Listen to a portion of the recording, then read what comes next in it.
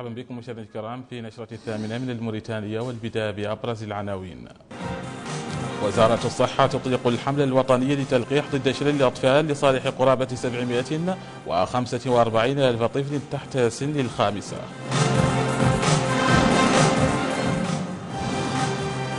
انطلاق فعاليات دورة تدريبية دولية لتنس الطاولة منظمة من قبل الاتحاد الدولي للعبة.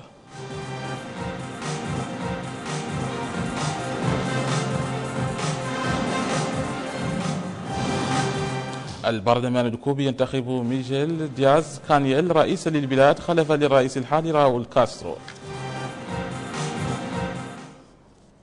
أهلا بكم في التفاصيل. وجه رئيس الجمهورية سيد محمد بن عبد العزيز برقية تهنئة إلى السيد ميغيل دياز كانييل رئيس مجلس الدولة ومجلس الوزراء بجمهورية كوبا بمناسبة انتخابه رئيسا لكوبا. وأكد رئيس الجمهورية حرص بلادنا الدائم على تنمية وتطوير علاقات التعاون القائمة بين البلدين بما يخدم المصالح والآمال المشتركة للشعبين الصديقين. شكل المؤتمر الصحفي الأسبوعي للحكومة مناسبة لوزيري العدل والثقافة والصناعة التقليدية. الناطق الرسمي باسم الحكومة للتعليق على نتائج الاجتماع الأخير للحكومة. ملخص ما جاء في المؤتمر الصحفي في التقرير التالي. خلال اجتماعه الأخير درس مجلس الوزراء وصادق على مجموعة من مشاريع المراسم والبيانات طالت مجالات الحكامة والتعليم العالي والعدل. ومن بين هذه المراسم والبيانات بيان متعلق بإعداد سياسة لقطاع العدل استعرضه وعلق عليه وزير العدل خلال المؤتمر الصحفي الأسبوعي للحكومة. تقدمت اليوم ببيان إلى مجلس الوزراء آه طالب فيه إشارة الضوء الأخضر آه كان نعكفه من خلال تمويل ليتقدموا الاتحاد الأوروبي في إطار دورتها اللي قالها فد 11 إحنا ذلك عندنا فد 10 كان مولو بها ذيك السياسة الغطائية. والحمد لله اعطتنا اعطت لنا إشارة الضوء الأخضر. كان تباركوا في تعدال ذيك السياسة. وبين وزير العدل أن الإصلاحات الثلاث التي عرفها قطاع العدل 1995 2007 و2015 تتسم بعدم الشمولية في تصور وحل المشاكل المختلفة والشائكة بالقطاع. الأمر الذي تطلب من الحكومة إعداد سياسة قطاعية جديدة لقطاع العدل. هذه الإصلاحات الثلاث اللي عرفها قطاع العدالة في الماضي. كانت لا تقول شطر أو محور واحد من محاور المختلفة والمتعددة والشائكة لقطاع العدالة. وهذاك هو اللي أدى أن النتائج اللي تمخضت عنها ذوك الإصلاحات آه، كانت دائما دون المستوى ولا أعطت آه، النتائج المرجوة منها. وهذا أدى بينا في الفترة الأخيرة قلنا لماذا مدة لي تصلح الشيال لا تعود عندها نظرة عامة لإشكالية القضاء و و وأماكن النقص اللي تعالج في المرفق المهم. كما تضمن المؤتمر الصحفي ردودا لوزير الثقافة والصناعة التقليدية الناطق الرسمي باسم الحكومة دكتور محمد أمين الشيخ على أسئلة الصحفيين. انتخبت اللجنة الوطنية المستقلة للانتخابات خلال جلسة خاصة عقدتها أمس بمقرها في نواكشوط القاضي ديدي والبنعام رئيسا لها والأستاذ عثمان والبيجل نائبا للرئيس.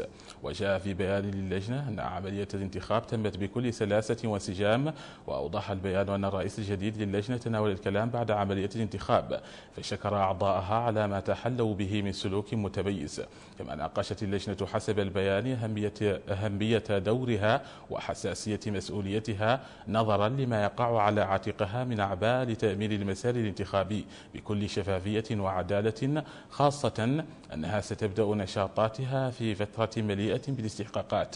وأشار في البيان كذلك أن اللجنة استقبلت الرئيس السابق وأعضاء فريقه حيث تبادل الطرفان التهاني والتمنيات مركزين على الاستفادة من التجربة السابقة. والسعي إلى تحسين عمل اللجنة وفق ما تتطلبه المرحلة. طلقت صباح اليوم على عموم التراب الوطني الحملة الوطنية للتلقيح ضد شلل الأطفال. وتتبع هذه الحملة استراتيجية التلقيح في البيوت ومن المقرر أن يستفيد منها قرابة 745 ألف طفل تحت سن الخامسة. تسعى هذه الحملة الوطنية لتلقيح الأطفال من الولادة إلى عمر خمس سنوات ضد شلل الأطفال إلى تحصين الأطفال من هذا الداء بعد أن نجحت جهود بلادنا. الصحية في القضاء عليه في السنوات الأخيرة ولأن هذه الحملة اعتمدت أسلوب التناقل بين البيوت فقد أعطى وزير الصحة رفقة وزيرة الشؤون الاجتماعية والطفولة والأسرة إشارة الانطلاقة الرسمية لهذه الحملة من أحد البيوت. أشرفت اليوم على الانطلاقة الرسمية للحملة الوطنية لتلقيح الأطفال ضد شلل الأطفال. هذه الحملة تستهدف الأطفال من سن الولادة إلى عمر خمس سنوات.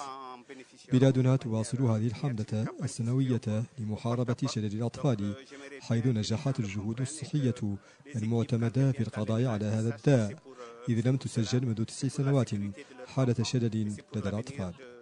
وتنطلق هذه الحملة وطنيا بالتزامن مع انطلاقتها في بعض الدول المجاورة ضمن المساعي الدولية لمحاصرة شلل الأطفال والعمل على القضاء عليه وهو ما يستدعي تجاوب الأسر وتهيئة الأطفال لعملية التلقيح. وزارة الشؤون الاجتماعية مع بعض الهيئات مكلفة بالتعبئة الاجتماعية هي تحسيس الأسر ومجيبة التركة ومجيبة الأمهات ومجيبة تحسيسهم على هذا.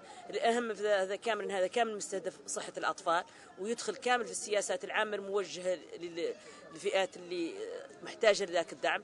وراجين من الأسر كاملة أنها تتفهم منهم لا يجوهم الناس في بيوتهم ويلقحوا لهم الأطفال ومن هذا لصحة الأطفال. بدوره ثمن ممثل صندوق الأمم المتحدة للطفولة السيد هيرفي بريس جهود بلادنا في مكافحة هذا الداء والتي أتت بنتائج إيجابية أكدت عدم ظهور أي حالة شلل في الأطفال منذ 2010 وأكد أنها جهود قيمة يجب الاقتداء بها في سبيل مكافحة شلل الأطفال. وقد استمع وزير الصحة إلى شرح مفصل قدمه منسق البرنامج الموسع للتلقيح. السيد مبارك الهميد حول هذه الحملة والأهداف المتوخاة منها والطرق والآليات المعتمدة لإنجاحها. وتستهدف هذه الحملة 746834 طفلا ويبلغ عدد الجرعات 837 ألف جرعة من لقاح شلل القطرات. ويشرف على هذه الحملة طاقم طبي يبلغ 2929 عاملا صحيا. وعلى مستوى ولاية دير الزمور انطلقت بالمركز الصحي في مدينة الزويرات الحملة الوطنية للتلقيح ضد شلل الأطفال لصالح قرابة عشرة آلاف طفل. تفاصيل أكثر في سياق تقرير زميل سيد أحمد أبو بكر سير. أول جرعة تقدم لأول طفل مستهدف في ولاية تيرزمور من طرف والي الولاية السيد سلمو السيدي إذانا بانطلاق حملة التلقيح ضد شلل الأطفال على مستوى ولاية تيرزمور وخلال وجوده في المركز الصحي بحي الواحات لدى إشرافه على انطلاق العملية تلقى والي تيرزمور شروحا عن المنهجية المتبعة في عملية التلقيح والظروف التي اكتنفتها قبل أن تستعرض المندوبة الجهوية للشؤون الاجتماعية والطفولة والأسرة السيدة زينب بنت الطالب أحمد الدور الذي لعبته المندوبية في تحسيس وتعبئة الأسر على أهمية وطبيعة الحملة. استفقت هذه الحملة بحملة تحسيسية آه، على مستوى الولاية قامت بها وزارة الشؤون الاجتماعية والأسرة آه، ياك الأطفال ياك يجبروا آه، أكبر كمية من الأطفال وتعود التغطية إن شاء الله على مستوى المطلوب. هدفنا إن شاء الله أن نوصلوا التغطية 100% إن شاء الله. وتستهدف هذه الحملة حوالي عشرة آلاف طفل على مستوى الولاية تتراوح أعمارهم ما بين لحظة الولادة إلى خمس سنوات وتتميز عن غيرها من الحملات الأخرى في خصائص معينة. خصوصية هذه الحملة عنها متزامنة مع الدول مع حملة في الدول الدول الإفريقية المجاورة وكذلك خصوصيتها عنها من باب إلى باب. الفرق الصحية هي اللي تدخل المنازل وتبحث عن الأطفال. ولقاح واحد هو لقاح شلل الأطفال. وكانت فرق التلقيح المشاركة في الحملة على مستوى مدينة الزولات قد بدأت نشاطها في ساعات الصباح الأولى بعد تجهيزها بالتجهيزات والمعدات الضرورية التي ستستخدمها في عملية التلقيح في انتقالها بين الأحياء المشكلة لمدينة الزولات. نلفت عنايتكم مشاهدينا الكرام إلى أن حلقة الليلة من برنامج تحت الضوء التي تأتيكم بعد هذه النشرة. تستعرض جوانب مختلفة للحملة الوطنية للتلقيح ضد شلل الأطفال. طلقت اليوم بالعاصمة فعاليات دورة تدريبية دولية منظمة من طرف الاتحاد الدولي لتنس الطاولة بالتعاون الفني مع الاتحادية الموريتانية لهذه اللعبة الأولمبية. ويسعى الاتحاد الدولي من وراء تنظيمه لهذه الدورة الأولى إلى الرفع من مستوى لاعبي ومدربي وإداري هذه الرياضة في بلادنا. بمشاركة أربعين عنصرا من مدربي ولاعبي وإداري رياضة تنس الطاولة في بلادنا. انطلقت هنا بقاعة العروض في المعهد العالي للشباب والرياضة أول دورة تدريبية دولية منظمة من طرف الاتحاد الدولي لتنس الطاولة بالتعاون الفني مع الاتحادية الوطنية لهذه اللعبة الأولمبية. يأتي هذا النشاط مباشرة عقب تخليد اليوم الوطني للرياضة تحت رئاسة ورعاية فخامة رئيس الجمهورية السيد محمد بن عبد العزيز والذي كان فرصة لتحقيق نتائج إيجابية ملموسة من خلال تنظيم العديد من النشاطات الرياضية المختلفة بالتعاون بين قطاعنا وكل الاتحاديات الرياضية الناشطة. كما يندرج في نطاق التوجيهات السامية لفخامته بغية الرفع من المستوى التنافسي للفرق الرياضية الوطنية وتعميم ممارسة الرياضة من أجل الصحة ورفاه كافة المواطنين. تلك التوجيهات التي تباشر تنفيذها حكومة معالي الوزير الأول المهندس يحيى الحدمي الدورة التدريبية المتخصصة الأولى سيستفيد المشاركون خلالها من الاطلاع على أحدث تقنيات وقوانين هذه الرياضة. إنها لحظة سعيدة اليوم أن نشهد معا لأول مرة انطلاق دورة متخصصة في مجال رياضة تنس الطاولة. فعلى الرغم من أن هذه الرياضة وهذه الاتحادية تعتبر من أقدم الاتحاديات الرياضية في موريتانيا حيث تأسست سنة 1973 إلا أنه على مدار 45 سنة هذه أول مرة تكون هناك دورة متخصصة آه، في المستوى واحد مشفوعة بمعسكر تدريبي في مجال هذه الرياضة الأولمبية الهامة. باسم الاتحاد الدولي لكرة الطاولة إن شاء الله نكونوا آه، بذرة بذرة خير آه، باش موريتانيا تشع في رياضة تنس الطاولة ويتم تكوين مدربين من الدرجة الأولى آه، وحاصلين على الشارة الدولية من من الدرجة الأولى تكوين تكوين مدربات العنصر النسائي مهم جدا في تطوير الرياضة بصفة عامة ورياضة كرة الطاولة بصفة خاصة مرافقة اللاعبين الموهوبين وعلاش لا معناها يوليوا في في يوم من الأيام معناها أبطال على الساحة المغاربية أو العربية أو الأفريقية ولما لا العالمية إضافة إلى إلى تكوين الحكام و, و ومسؤولين وإداريين. أشغال الدورة التدريبية المفتتحة اليوم؟ ستستمر مدة ثمانية أيام قبل أن تشفع بمعسكر تدريبي للاعبين. في شأن آخر احتضنت قاعة المحاضرات بجامعة شنقيط العصرية صباح اليوم ندوة حول دور العقيدة الأشعرية في الحفاظ على تماسك المجتمع الموريتاني. يأتي تنظيم هذه الندوة في سياق جهود محاربة ظاهرة التطرف والإرهاب. دور العقيدة الأشعرية في الحفاظ على تماسك المجتمع الموريتاني.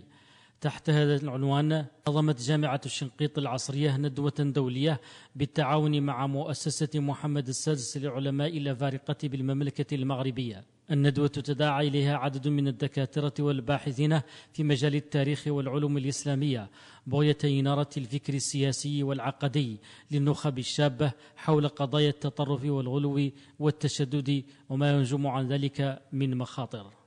إن طرح إشكالية التطرف والأسباب التي تغذيه والعوامل التي تحصن المجتمع منه يذكر بما كان عليه حال الأمة من تمزق وتشرذم وتناحر. وتعتبر الأشعرية حلا وسطا للخروج بالأمة من ورطة التعطيل والتجسيم إلى اعتدال ووسطية أمنت المجتمع ووفرت الحماية اللازمة له. إنكم من خلال محاور هذه الندوة المباركة بإذن الله في مرتكزها الفكري وتوقيتها الزمني ستتناولون بالإضافة إلى السياق المعرفي والتاريخي للمدرسة الأشعرية بالدراسة المبتغى الأساس من تحقيق الأصلين الكبيرين التوسط والاعتدال. اللذين أصبحا علما على هذا الاتجاه. رئيس جامعة الشنقيط العصرية ألقى كلمة رحب فيها بضيوف الندوة مبينا أهمية التمسك بالعقيدة الأشعرية. كان في العهد الأول المسلم يكتفي بالتوحيد في سورة الإخلاص. كان الرسول عليه الصلاة والسلام ينهى عن الكلام في القدر وكان أمير المؤمنين عمر بن الخطاب يعزر من يتبع المتشابه من القرآن وكان الإمام مالك يصف من يسأل عن كيفية الاستواء على العرش. بأنه رجل سوء. من جانبه رئيس مؤسسة محمد السادس للعلماء الأفارقة بالمملكة المغربية الدكتور محمد الأحمر.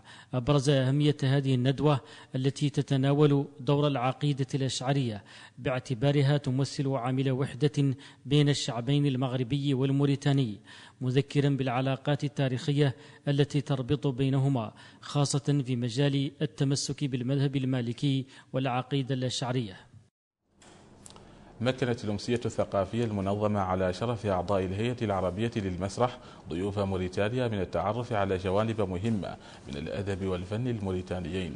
وتقوم هذه الهيئة العربية بزيارة لموريتانيا لبحث مجالات التعاون مع وزارة الثقافة والصناعة التقليدية للنهوض بالمسرح في بلادنا. هي سهرة أدبية وفنية نظمتها وزارة الثقافة والصناعة التقليدية على شرف ضيوف موريتانيا أعضاء الهيئة العربية للمسرح. الأمسية التي حضرها العديد من الأدباء والكتاب والمسرحيين إضافة إلى طاقم الوزارة وحاكم مقاطعة الإكسار تهدف إلى إبراز النماذج المتنوعة للثقافة الموريتانية للآخر. مدير العمل الثقافي والفنون بوزارة الثقافة والصناعات التقليدية رحب باسم الوزير بالضيوف منوها بمتانة العلاقة بين هذه الهيئة وموريتانيا. ضيوف وزارة الثقافة والصناعة التقليدية. يسعدني في هذه الليلة استهلالا لهذا الحفل البهيج.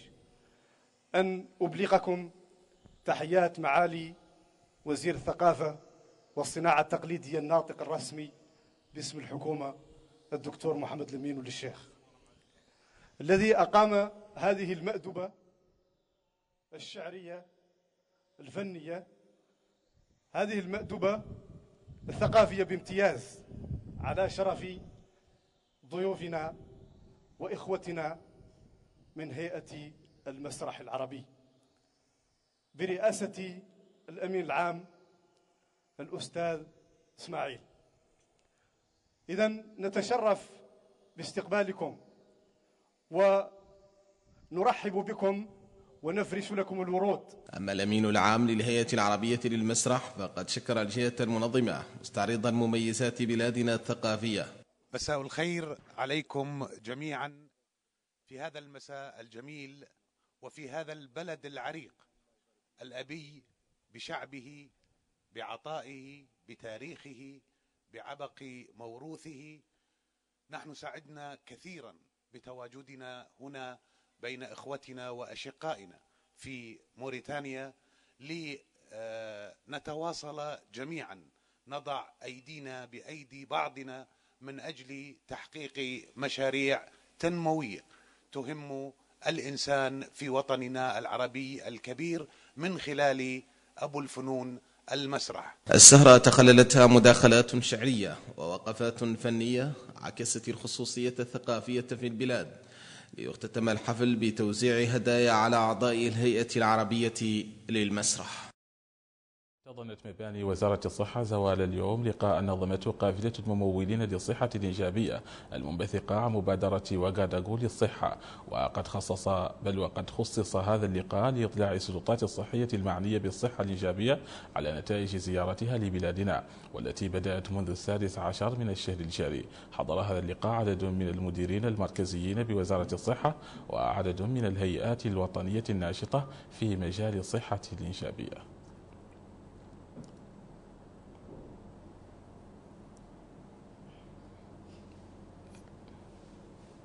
أما الآن فإلى الاقتصاد مع الزميلة فاطمة من محمد محمود. أهلا بك شكرا فاطمة. لك زميلي محمد. وأخبار اقتصاد بعد هذا الفاصل.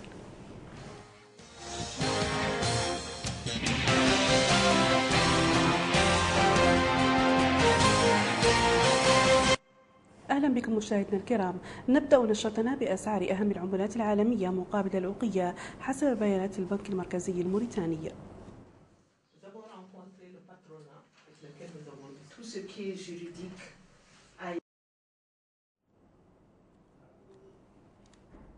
نعتذر عن هذا الخلل الفني ونبدأ نشاطنا بأسعار أهم العملات العالمية مقابل الأوقية حسب بيانات البنك المركزي الموريتاني.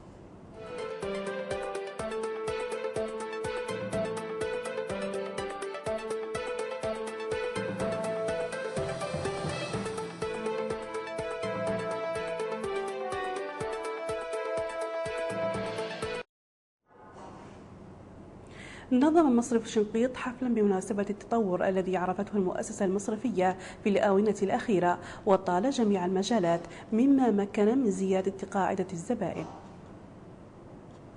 مصرف شنقيط في دعم الاقتصاد الوطني ومواكبته لإنشاء البنك المركزي الموريتاني وصدور الأوقية.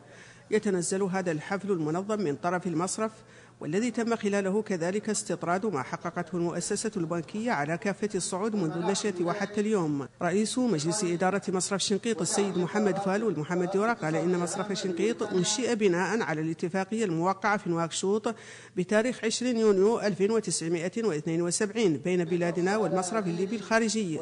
لغرض توثيق الصلات الاقتصادية بين البلدين الشقيقين ليبيا وموريتانيا. حيث مثل معلمة من معالم الاقتصاد الوطني وساهم في توفير ودعم قرارات اقتصادية هامة في البلد. بدوره بين الأمين العام للاتحادية المهنية للبنوك الموريتانية السيد محمد الحنشي والمحمد صالح الدور المحوري الذي تلعبه المؤسسات المصرفية في النهوض بالاقتصاد وتحقيق التنمية. وقد حضر الحفل عدد من الفاعلين الاقتصاديين والعاملين في مصرف شنقيط. ارتفع الدولار الأمريكي اليوم مع ارتفاع عائد سندات الخزانة الأمريكية إلى أعلى مستوى له. وارتفع مؤشر الدولار الأمريكي الذي يقيس قوة الدولار مقابل السلة من ست عملات رئيسية بنسبة 0.27% كما ارتفعت عوائد السندات الأمريكية مرة أخرى اليوم مع ارتفاع سندات الولايات المتحدة لمدة عامين إلى أعلى مستوى لها منذ سبتمبر 2008 وقد أدت الزيادة في عوائد عوائد سندات الخزانة الأمريكية في فبراير الماضي إلى انخفاض حاد في أسواق الأسهم. فيما يلي نتابع جد أهم الأسهم والمؤشرات في الأسواق المالية العالمية.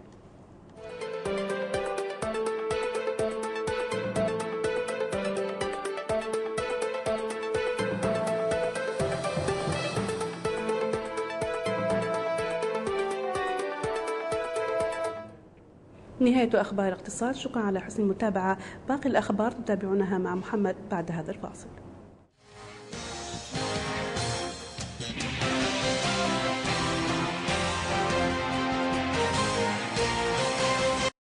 شكرا لزميلة فاطمة محمد محمود وأهلا بكم من جديد. نشرتنا تتواصل بعد هذا الفاصل. الإخبارية تتابعونها كل أسبوع في نشرات الأخبار على قناة الموريتانية.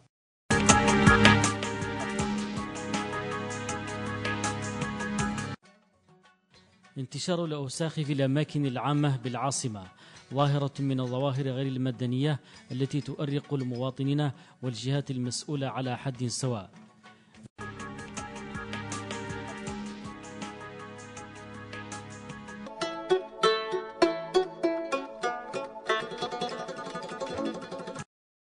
إشراقة الشام قبس بلون المعدن الأصفر يغطس في المساء ليولد من جديد.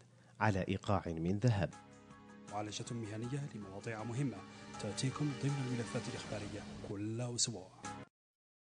أهلا بكم من جديد. دوليا انتخب البرلمان الكوبي أمس ميغيل دياز كانييل رئيسا جديدا للبلاد لخلافة الرئيس الحالي راول كاسترو. ويتولى دياز البالغ من العمر 57 عاما رئاسه البلاد لمدة خمس سنوات قابلة للتجديد. ويطوي تعيينه ستة عقود من حكم الكاسترو حيث تعاقب على البلاد منذ الثورة الكوبية سنة 1959 الأخوان فيديل وراول كاسترو. ومع مغادرته الرئاسة فإن راؤول كاسترو لم يتخلى بالكامل عن مقاليد الحكم لخلفه لأنه سيحتفظ بصلاحياته أمينا عاما للحزب الشيوعي الكوبي القوي حتى 2021 حين يبلغ التسعين من عمره. حذرت كريستينا لاغارد المديرة التنفيذية لصندوق النقد الدولي من خطر النزاع التجاري بين الولايات المتحدة والصين على الثقة العالمية والاستثمار. وقالت لاغارد في مؤتمر صحفي عقد بمقر صندوق النقد الدولي في العاصمة الأمريكية حيث يتجمع وزراء مالية ومحافظو البنوك المركزية إن الرسوم الجمركية التي يهدد بها أكبر اقتصادين في العالم سيكون لها تأثير مباشر متواضع على الاقتصاد العالمي لكنها قد تثير شكوكا تعطل الاستثمار وهو أحد المحركات الرئيسية لزيادة النمو العالمي. أما الآن فإلى الرياضة مع الزميلة وردة متباه الحمد لله على السلامة زميلة أهلا بك شكرا لك. إذا مشاهدينا جددوا أخبار الرياضة بعد قليل.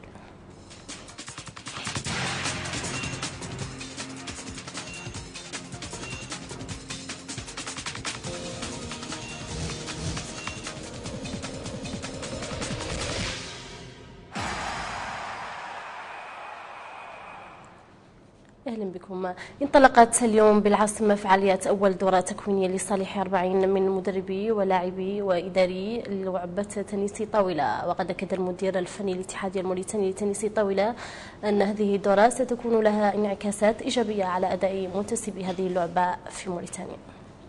جات هاي اتحادية الحمد لله دورهم كانوا يكونوا شيء قد يكون هاو الشباب اللي عنده فاصل في, الوطن. كانوا يتم يمثلوا موريتانيا في نشاطات دولية والوطنية. وهي الدورة هي دورة اللي قد عدلت سأل سأل تشنيت اتحادية هي الدورة الأولى اللي تتكون لاعبات اللي مدربات لنساء ورجال. وإن شاء الله إن شاء الله كانوا يحصلون في المستقبل. الشباب اللي كان نقدم نتقدموا في كرة الطاولة. إن شاء الله. يشاركون في الدورة التدريبية المنظمة من طرف الاتحاد الدولي لتنس طاولة أعربوا عن ارتياحهم لتنظيم هذه الدورة التكوينية في بلادنا. شاركت في بطولات سابقة ونلعب تنس طاولة سنوات هي طبعا لعبة لعبة سهلة. ما تطلب أي جهد طبعا قد أي شخص يمارسها في منزله والله في الساحة والله في أي مكان. ولعبة سهلة ما تطلب أي جهد. وطبعا ممارستها ممارستها ممارستها تطلب لا تعرف على القوانين. إن شاء الله إن شاء الله نستفاد إن شاء الله من الخبير اللي جانا إن شاء الله كان نطوروا فيه إن شاء الله. ونقدم ممثل موريتانيا إن شاء الله في المحافل القادمة إن شاء الله. جينا اليوم نحضر لافتتاح دورة تكوينية في مجال تنس الطاولة. وزين عندنا ومشرفنا العنصر النسوي خاصة نحن العنصر النسوي. عن نقبل دورات تفيدنا عقب وخصوصا المتخصصين في المجال كيف الأساتذة كيف نحن. خصوصا حاضر لها خبير دولي. وتبعا الاتحادية الدولية لكرة التنس. طبعا أكيد أن رئيس الجمهورية بإشرافه على وافتتاحه اليوم الوطني للرياضة أعطانا دفعة قوية خصوصا نحن النساء. شاكرينهم على هذه الدورة. قال مدرب المنتخب الوطني للناشئين إن متابعته للدورة الأولى من كأس والي ولاية هدرار لكرة القدم مكنته من التعرف عن كثب على مستوى ومواهب كرة القدم في ولاية أدرار. إحنا تلقينا دعوة من نادي الطواز من أجل حضور المباراة ومن أجل متابعة اللاعبين عن قرب. وتابعناهم وتابعنا ذا النهائي كان نهائي جيد. وكانت فم مستوى لا بأس به مع إن فم ياسر من النواقص وفم ياسر من قلة الإمكانيات لأن الارضيه ما تساعد على ممارسة كرة القدم. لكن فم مواهب بإمكانها أن تتطور نتج بار بنى تحتية ونتج بار ياسر من الإمكانيات. نتمنى لهم التوفيق ونتمنى مواصلة العمل لأن العمل ما يعطي يتوقف إنك خسرت مباراة والله عدد ضربات الجزاء وفشلت ما يعطي يعطي يواصل ويحاولوا إنهم يقدموا ناجيهم لأن كرة القدم لابد لها من استمرارية ولابد لها من الصبر. نتمنى لهم التوفيق. من ولاية أدرار ننهي نشرة الرياضة. شكرا لمتابعتكم وعودة بعد الفاصل إلى محمد بلال.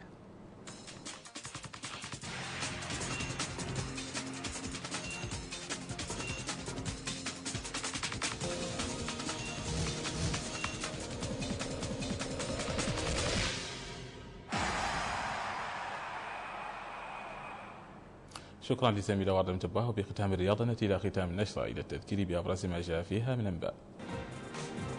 وزارة الصحة تطلق الحملة الوطنية للتلقيح ضد شلل الأطفال لصالح قرابة 745 ألف طفل تحت السن الخامسة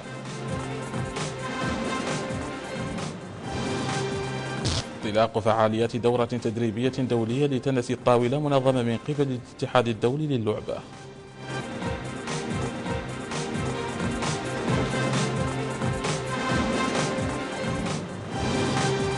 البرلمان الكوبي ينتخب ميغيل دياز كانيل رئيسا للبلاد خلفا للرئيس الحالي راؤول كاسترو.